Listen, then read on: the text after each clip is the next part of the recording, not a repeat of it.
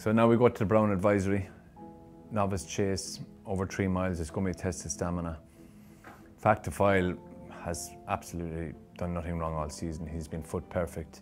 You must remember he hasn't had a novice hurdle campaign, so he's got limited experience, although he did run very well into track last year in the bumper, finishing second.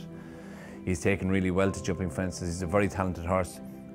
The only thing is his experience of being around, he, he will lack that where the likes of Stay Away Fay is really hardened. He's a winner at the festival last year over three miles. He's back again. He's shown his aptitude to stay. He loves galloping and jumping and stays really, really well. Also, you have the likes of Broadway Boy. It wouldn't be a surprise if this race went to an English horse in the shape of Stay Away Fay, or maybe at a bigger price, Broadway Boy. They're two very talented horses.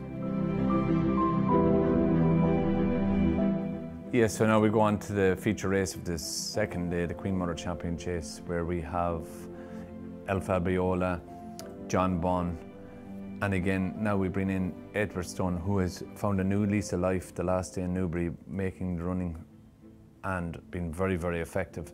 He brings a new dynamic to the race. We know that Jonbon likes to get to the front and likes to dictate his races. He has got an awful lot of speed, uh, Jonbon, he does make a slight error, which can be a worry, which we saw in Cheltenham in his last appearance.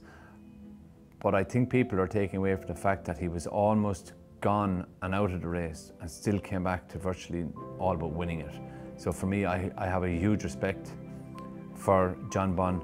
El Fabiolo is a big, strong horse. He has to be interesting when both of them meet up again, which they have done in the past over hurdles. And Jonbon has beaten El Fabiolo.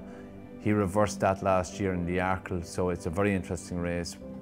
I'm going for the value here in Jonbon.